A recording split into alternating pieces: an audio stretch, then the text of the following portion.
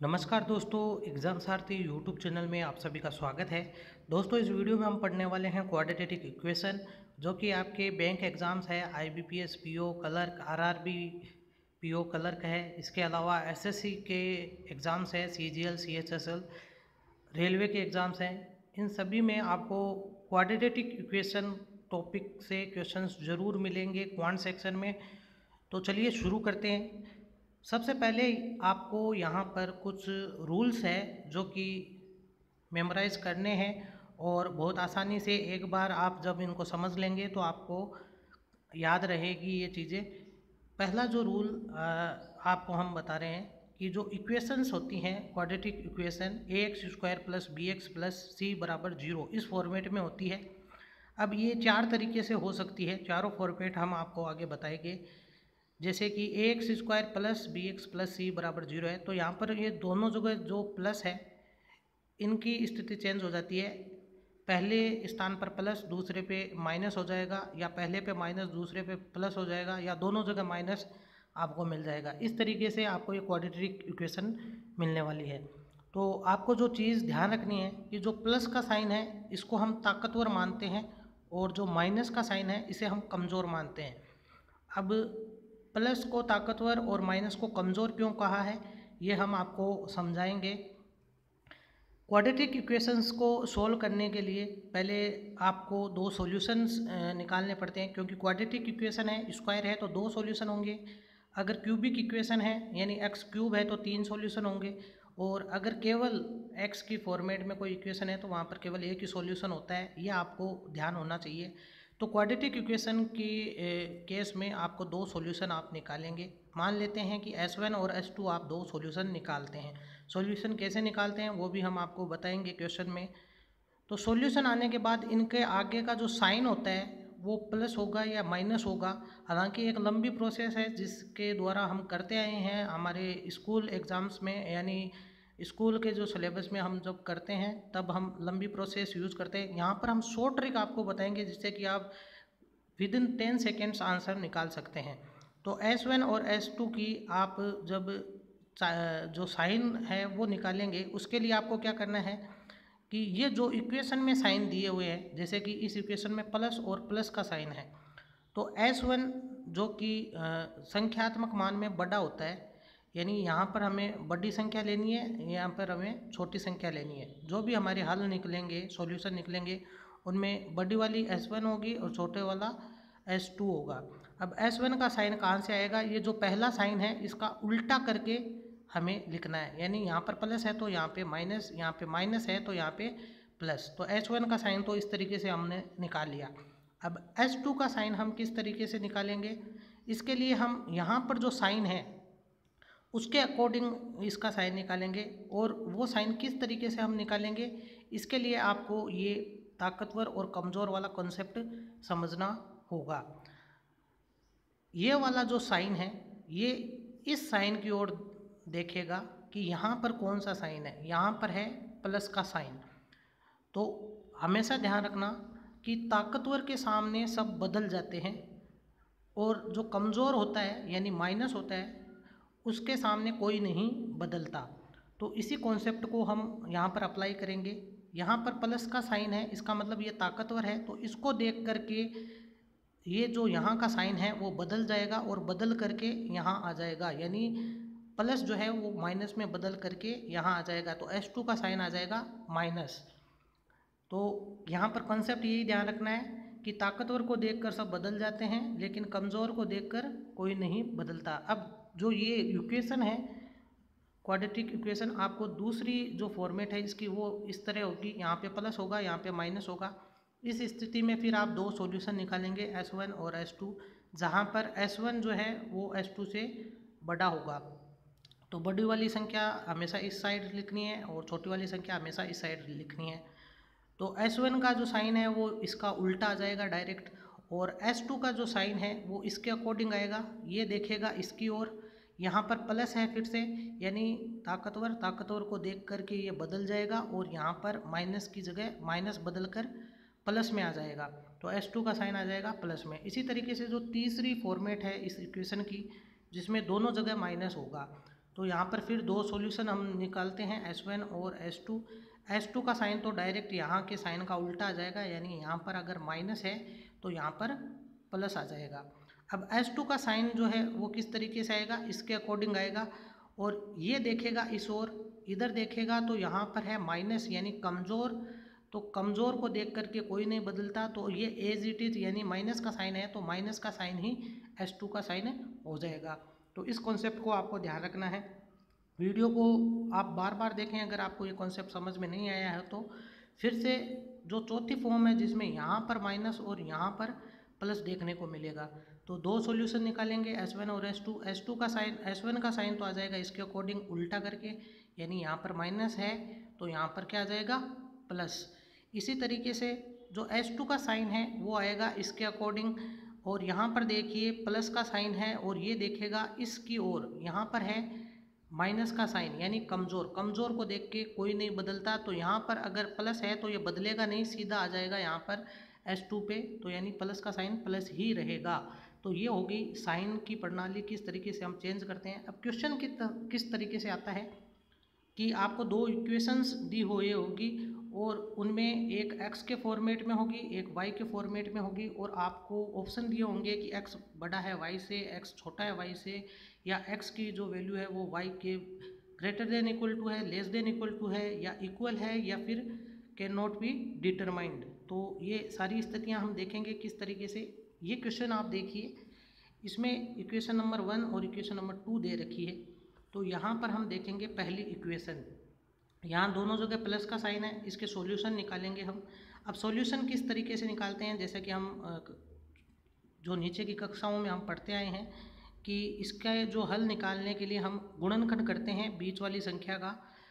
तो इसको दो ऐसी संख्या में बांटते हैं, जिसको जोड़ने पर ये बीच वाली संख्या आ जाए और गुणा करने पर इन दो का गुणा आ जाए। यानी कि देखें, इन दो का गुणा करते हैं ए और सी का तो आता है हमारे पास छः यानी पहला जो टर्म है और जो लास्ट टर्म है, उसका गुणा करते हैं तो आता है छः तो इस सात को हमें ऐसे टुकड़े में बांटना है जिससे कि गुणा करने पर छः आ जाए, जोड़ने पे सात आ जाए। तो सात को हम छः और एक दो टुकड़ों में बांटते हैं। इन दोनों को हम जब जोड़ते हैं तो हमारे पास क्या आ जाता है? सात आ जाता है और गुणा करने पर छः आ जाता है। तो ये इसके गुणनखंड होंगे। तो हमारे सॉल्यूशन क्या होंगे? छः और एक। हमने यहाँ पर लिख लिया छः और एक। अब ये अपोन में तीन कहाँ से आया? ये तीन इसलिए आया क्योंकि हम हमेशा जो स्क्वायर की टर्म है, इसका जो गुणज है, इसको एक रखेंगे हमेशा। इसको इकाई रखना है, हमेशा यहाँ पर गुणांक में एक ही रहना चाहिए। तो उसके लिए हम क्या करते हैं? इस तीन का डिवाइड करते हैं पूरी इस इक्वेशन में। लेकिन हमने चूँकि डायरेक्ट सॉल्यूशन निकाले हैं तो हम क्या करेंगे? डायरेक्ट सॉल्यूशन में ही डिवाइड कर देंगे। तो ये एक शॉर्ट ट्रिक हो गई। तो हमारे सॉल्यूशन जो छः और एक है, उसमें हमने तीन का डिवाइड कर दिया। अब अब क्या करना है? इसके ये साइन कहाँ से आए? ये साइन कहाँ से आए? यहाँ पर हम देखेंगे।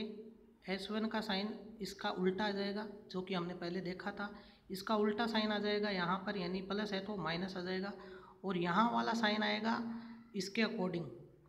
तो यहाँ पर कौन सा साइन है? प्लस, ये देखेगा इसकी ओर। यहाँ पर क्या है? पहले से प्लस का साइन है, यानी कि ये जो है ताकतवर को देख के बदल जाएगा। बदल जाएगा, यानी प्लस है तो यहाँ पर आ जाएगा माइनस का साइन। तो कुल मिला के आपने समझा होगा कि ये यहाँ देखेगा, यहाँ पर प्लस का साइन है, जो कि ताकतवर है तो इसको देख करके यहाँ का साइन चेंज होके यहाँ आ जाएगा। यहाँ पर प्लस है तो यहाँ पर क्या आ जाएगा? माइनस तो इस तरीके से हमने इसके सॉल्यूशन निकालिए पहली इक्वेशन के, और इनको आप आगे सोल्व भी कर सकते हैं। माइनस टू यहाँ आ जाएगा माइनस टू और यहाँ आ जाएगा आपका माइनस का वन माइनस का पॉइंट थ्री थ्री तो ये आपको ध्यान रखना है। नेक्स्ट जो इसमें इक्वेशन दी हुई थी वाई वाली Y square plus five Y plus six बराबर ज़ीरो तो इसमें भी क्या करेंगे? दो सॉल्यूशन निकालेंगे। तो इसके सॉल्यूशन इस तरीके से करने हैं कि छः और एक का गुणा हुआ छः पाँच को ऐसे दो टुकड़ों में बांटना है कि गुणा करने पे छः आ जाए और जोड़ने पे पाँच आ जाए। तो तीन और दो ऐसी संख्या है। तो तीन और दो में बांट देंगे पाँच को और इनके आगे हमें कोई चिन्ह नहीं देखना है अभी। तो तीन और दो में हम बांट सकते हैं। तो तीन को दो से गुणा किया तो छः आ गया हमारे पास और जोड़ने पे पाँच आ गया। अब क्या करना है कि बात करते हैं साइन की तो यहाँ वाला साइन तो सीधा उल्टा होके आ जाएगा, प्लस है तो माइनस आ जाएगा। और यहाँ वाला साइन इसके अकॉर्डिंग आएगा, ये देखेगा इसकी ओर, यहाँ पर है प्लस यानी ताकतवर, यानी कि ये वाला जो साइन है ये बदल करके यहाँ आ जाएगा माइनस के फॉर्म में, क्योंकि यहाँ पे प्लस है तो यहाँ पे क्या आएगा माइनस साइन। अब क्या है? हमारे पास दोनों इक्वेशंस के सॉल्यूशन आ गए। एक्स की ये वैल्यू आ गई वाई की ये वैल्यू आ गई। अब हमको तुलना करनी है इन दोनों वैल्यूज़ में। तुलना किस तरीके से करेंगे कि पहले हम माइनस दो को वाई की वैल्यूज़ से तुलना करेंगे। तो माइनस दो माइनस तीन से बड़ा है, क्योंकि माइनस में जो संख्या छोटी दिखती है, वो बड़ी होती है। तो माइनस दो, तीन से बड़ा है तो यानी हमारे पास बड़े बड़ा एक्स बड़ा है वाई यानी बड़े वाला साइन आ गया ग्रेटर देन का साइन आ गया। तो यहाँ पर थोड़ा फिर से समझिए माइनस दो माइनस तीन से बड़ा है तो ग्रेटर देन का हमारे पास साइन आ गया। अब माइनस दो को हमने माइनस इस y के माइनस दो से तुलना किया, जो कि बराबर है तो हमारे पास बराबर का साइन भी आ गया। अब x की जो दूसरी वैल्यू है, यानी कि पॉइंट थ्री थ्री माइनस के पॉइंट थ्री थ्री उसकी तुलना करेंगे y के जो मान है उनसे। तो y की वैल्यू है माइनस तीन और इनमें से जो बड़ा है तो x फिर से बड़ा वाला हमारे पास आ गया। x का मान यहाँ पे भी क्या है? बड़ा है। दूसरी वैल्यू से हम तुलना करेंगे पॉइंट थ्री थ्री की तो माइनस दो से भी माइनस पॉइंट थ्री थ्री बड़ा है तो फिर से बड़ा का साइन आया है। तो कुल मिला के हमारे पास बड़े और ग्रेटर देन और इक्वल टू का साइन आया है। तो हमारा फाइनल आंसर क्या होगा? X is greater than equal to Y आगे और देखेंगे जहाँ पे आपके और ज़्यादा कॉन्सेप्ट क्लियर होगा। क्वेश्चन नंबर सेकंड देखते हैं। इसमें हमें एक इक्वेशन ये दे रखी है, एक ये दे रखी है। दोनों के सॉल्यूशन निकालेंगे। तीन और चार, इन दोनों को गुणा किया, बारह आया। अब इस चार के हमें ऐसे टुकड़े करने हैं कि गुणा करने पे बारह आ जाए, यानी इन दोनों संख्याओं का गुणन जो है वो आना चाहिए और जोड़ने पे ये चार आ जाए। तो ऐसी दो संख्याएँ हो सकती है छः और दो, यानी छः को दो से मल्टीप्लाई करें। तो बारह आ जाता है छः से दो को घटाएँ तो चार आ जाता है। तो ये दो हमें सॉल्यूशन मिल गए छः और दो। अब चूँकि यहाँ पर स्क्वायर की टर्म के साथ गुणा में तीन है तो इसको हमें इकाई बनाना है, यानी एक होना चाहिए गुणा में एक्स स्क्वायर के। तो हम तीन का डिवाइड कर देंगे दोनों सॉल्यूशन में, यानी छः में भी और दो में भी। अब बात करते हैं साइन की तो यहाँ पर साइन आएगा इसके अकॉर्डिंग यानी यहाँ पर प्लस है तो यहाँ पर माइनस यहाँ पर माइनस है। तो यहाँ पर प्लस तो जो पहला सॉल्यूशन है, इसका जो साइन है, वो इसके उल्टा आएगा तो यहाँ पर माइनस दिया हुआ है इक्वेशन में तो सॉल्यूशन में आएगा प्लस अब इसके साइन की बात करें तो ये आएगा इसके अकॉर्डिंग अब इसके अकॉर्डिंग आएगा तो यहाँ पर माइनस का साइन है, और ये देखेगा इसकी ओर, यहाँ पर भी माइनस का साइन है. यानी कमज़ोर है, कमज़ोर को देख के कोई नहीं बदलता तो एज इट इट यहाँ पर माइनस है तो यहाँ पर भी माइनस की फॉर्म में आ जाएगा। तो दोनों के सॉल्यूशन हमें मिले। इसको हमने आगे फर्दर सोल्व किया तो छः में तीन का डिवाइड किया दो आए और दो में तीन का डिवाइड किया तो माइनस का पॉइंट सिक्स सिक्स आया। अब इसी तरीके से दूसरी इक्वेशन को देखिए, two Y square minus nine Y plus ten. दो सॉल्यूशन आएँगे यहाँ पर। दो को हमने दस से गुना किया। यहाँ पर थोड़ा समझने की कोशिश करें किस तरीके से आते हैं सॉल्यूशन। पहली टर्म को और आखिरी टर्म को, तीसरी टर्म को हमने गुणा किया। दो और दस को गुणा किया, बीस आया। अब इस बीच वाली टर्म के ऐसे टुकड़े करने हैं कि गुणा करने पर बीस आ जाए और जोड़ने पर नाइन आ जाए। तो पाँच और चार में हम दो टुकड़े कर सकते हैं। पाँच और चार को जोड़ने पर नौ आ जाता है और गुणा करने पे बीस आ जाता है। तो पाँच और चार हमारे गुणनखंड होंगे। तो पाँच और चार हमने लिख लिए। अब इनके साइन की बात करें तो यहाँ वाला जो साइन है, पहले गुणनखंड का साइन है, वो इसका उल्टा करके आ जाता है, इस वाले साइन का। तो यहाँ पर माइनस दिया है तो यहाँ पर क्या आएगा? प्लस अब इस दूसरे वाले की साइन की बात करें तो ये आता है इसके अकॉर्डिंग यहाँ पर देखिए प्लस का साइन है और ये देखेगा इसकी ओर, यहाँ पर इसको दिखाई देगा माइनस का साइन जो कि है एक कमज़ोर कमज़ोर को देख के ये बदलेगा नहीं बदलेगा नहीं तो यहाँ पर प्लस की फॉर्म में ही आ जाएगा। तो ये प्लस माइनस कैसे आया वो आप समझ गए होंगे। सॉल्यूशन कैसे निकले वो भी आप समझ गए होंगे। आपको हमेशा ध्यान रखना है कि यहाँ पर बड़ा वाला गुणनखंड रखना है और यहाँ पर छोटा वाला गुणनखंड रखना है। यानी जो सॉल्यूशन आप निकालते हो, उसमें बड़ा वाला सॉल्यूशन इधर, छोटा वाला जो संख्या है, वो इधर आनी चाहिए। अब इसको आगे सोल्व करेंगे तो वाई के दो मान आ गए टू पॉइंट फाइव और टू अब अक्स के दोनों जो वैल्यूज़ हैं वाई की दोनों वैल्यूज़ को आप कंपेयर कर सकते हैं। पहले अक्स की एक वैल्यू को उठाएँगे और उसको वाई की दोनों वैल्यू से कंपेयर करेंगे। तो हमें पता चलेगा कि दो जो है ये वाई के दोनों मानों से क्या है? या तो ढाई से छोटा है, दो पॉइंट पाँच से छोटा है और दो के बराबर है। यानी हमें छोटे का और बराबर का साइन मिल गया। अब इस वैल्यू को हम दोनों वैल्यू से तुलना करेंगे। तो माइनस का पॉइंट सिक्स सिक्स ये माइनस में है और ये दोनों वैल्यू प्लस में है। तो हमें पता चल गया डायरेक्टली कि ये वाली वैल्यू हमेशा छोटी है। तो फिर से हमारे पास क्या आ गया? लेस देन का साइन। तो कुल मिला के तीनों साइन हमें लेस देन और इक्वल टू के मिले हैं। तो ये वाला इसका आंसर होगा X is less than equal to Y लेकिन कहीं पे अगर ये वाली स्थिति आ जाए कि हमें लेस देन भी मिले और ग्रेटर देन भी मिले, दोनों ही कंडीशन मिलने पर हमें क्या आंसर देना है? लास्ट वाला जो आंसर होगा ऑप्शन होगा can not be determine C and D वो लगेगा। इस चीज़ का ध्यान रखना है। आगे बहुत सारे हम क्वेश्चंस करेंगे तो आपको और क्लियर होगा। आने वाले वीडियोस में हम हर तरह के एडवांस लेवल के क्वेश्चंस करने वाले हैं। अब ये क्वेश्चन देखिए इसमें क्या दिया हुआ है? एक्स स्क्वायर की ये एक इक्वेशन दी हुई है एक वाई में दी हुई है। अब यहाँ पर इसके सॉल्यूशन निकालेंगे तो यहाँ पर गुणा करने पे आना चाहिए इन दोनों को गुणा छः और जोड़ने पे घटाने पे आना चाहिए एक। तो तीन और दो ऐसे गुणनखंड है जिनको जोड़ने पे आ, या घटाने पे आ सकता है एक और गुणा करने पे आ सकता है छः। तो हमारे पास जो गुणनखंड यहाँ पर फैक्टर निकल के आए हैं, वो तीन और दो है। अब इसका जो साइन है, वो आएगा इसके अकॉर्डिंग यानी उल्टा करके माइनस का प्लस का माइनस हो जाएगा और इसका जो साइन आएगा, वो आएगा इसके अकॉर्डिंग यहाँ जो साइन है, उसके अकॉर्डिंग अब यहाँ पर है माइनस का साइन, ये देखेगा इस साइड यहाँ पर है प्लस का साइन। तो जब ये प्लस की साइन की ओर देखेगा प्लस की साइन की ओर देखेगा तो इसका मतलब ये है कि ये ताकतवर है तो इसको देख करके ये चेंज होकर के यहाँ आ जाएगा। यानी यहाँ पर माइनस का साइन है तो यहाँ पे प्लस का साइन आ जाएगा। तो ये हमारे पास एक्स की दो वैल्यूज़ आ गई। इसी तरीके से दूसरी इक्वेशन देखिए। इसमें हम सॉल्यूशन निकालेंगे चार त्री बारह। चार और तीन को गुणा किया, यानी बारह। तो बीच वाली जो टर्म है, यानी तेरह, इसके ऐसे गुणनखंड करने, ऐसे फैक्टर करने हैं कि गुणा करने पे बारह आ जाए और जोड़ने घटाने पे तेरह आ जाए। तो ऐसे दो गुणनखंड हो गए बारह और एक, इनको जोड़ने, बारह में एक जोड़ने पर तेरह आता है और गुणा करने पे बारह आता है। तो गुणनखंड हो गए बारह और एक। अब चूँकि वाई स्क्वायर की ट्रम में साथ में चार मल्टीप्लाई में है तो इसको इकाई करना है। इकाई करने के लिए हम सॉल्यूशन में क्या करेंगे? चार का डिवाइड कर देंगे दोनों सॉल्यूशन में। हमेशा ध्यान रखना है, बड़ा वाला सॉल्यूशन इधर, छोटा वाला सॉल्यूशन इधर रखना है।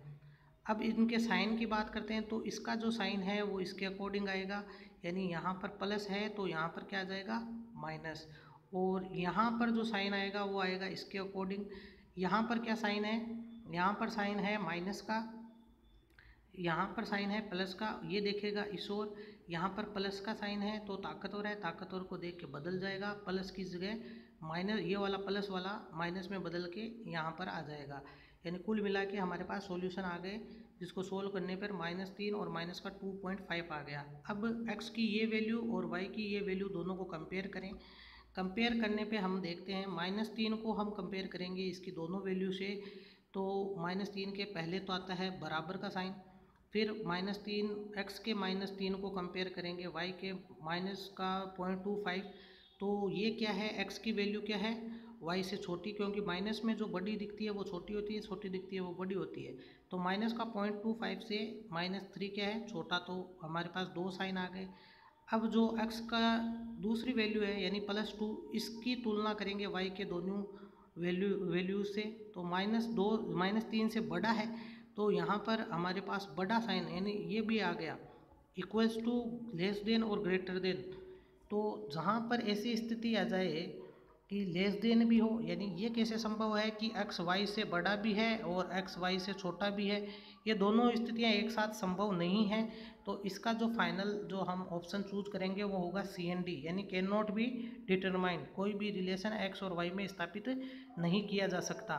तो ये है क्वाड्रेटिक इक्वेशन के पूरे कॉन्सेप्चुअल जो आप क्वेश्चंस कर सकते हैं, जो आपको देखने को मिलेंगे आईबीपीएस में बैंक एग्ज़ाम्स में आगे आने वाली वीडियोस में हम और क्वेश्चंस देखेंगे थोड़े एडवांस लेवल के।